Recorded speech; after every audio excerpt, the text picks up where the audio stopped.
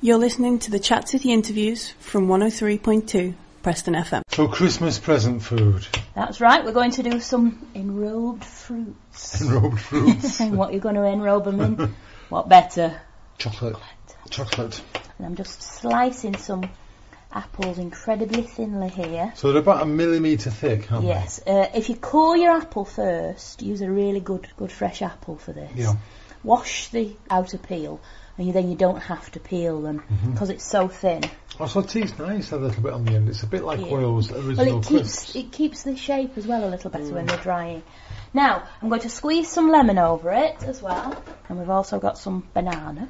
What's going to happen is these are going to get dried, and then we'll dip them in dark and a mixture of milk and dark chocolate for Christmas present. Right, okay. Now, the drying of the fruit. Now, we've got a, a wonderful snacker. Whatever, we've got a It's a a, dehydrator Yes. that's got four shelves to it.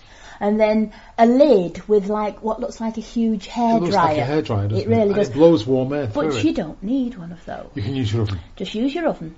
Put it right to the lowest setting. I don't know what that is on your oven, it depends, but it is the lowest setting. On ours, it is. Well, it says 50, 50 there, doesn't it? Yeah, it? 50 is Yeah. the lowest setting. Set it for about 10 minutes before you put your, Okay, uh, put your and then in. put your produce, whatever you've prepared, Drying. and you can dry anything, any fruit, vegetables. Tomatoes are wonderful. They are, cut them in half Bananas or in slice usually them. and things like that But you can leave cherries, cranberries, grapes whole.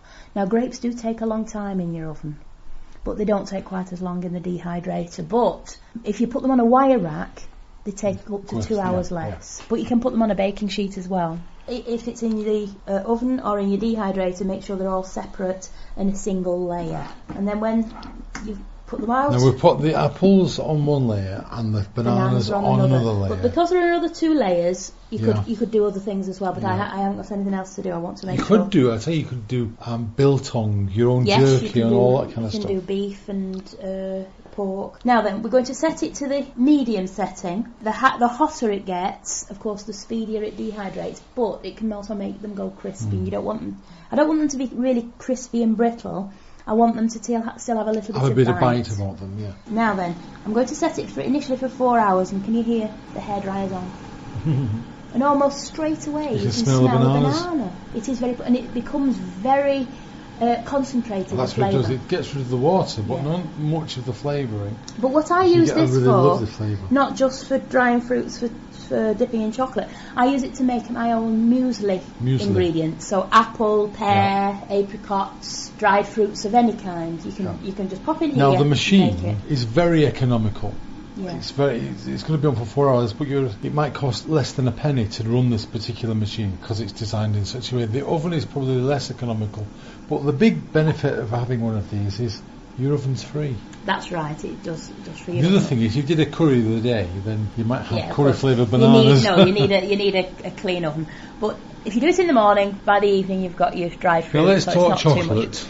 Now then, when this is done, I'm going to melt some chocolate. Now there are two main ways of doing it, either in your microwave, and it usually takes about two to three minutes, depending on type of chocolate. Don't use too much. I use about 100, 150 grams at any one time. Because if you dip in So something in, it doesn't. yeah.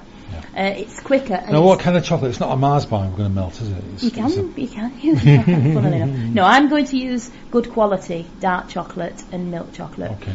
The High dark chocolate, is chocolate high content. cocoa solids. Yeah. It's, it will say on the, if it's good quality, it will tell you how much. So what is it? 75, This 80 is 70, this is 75. Okay. Uh, it'll go up. To, you can get up to 92%, which is very brittle And and, doesn't melt very well, and very well. bitter, but ideal for cooking. On the hob, don't overheat the water. It's got to be simmering.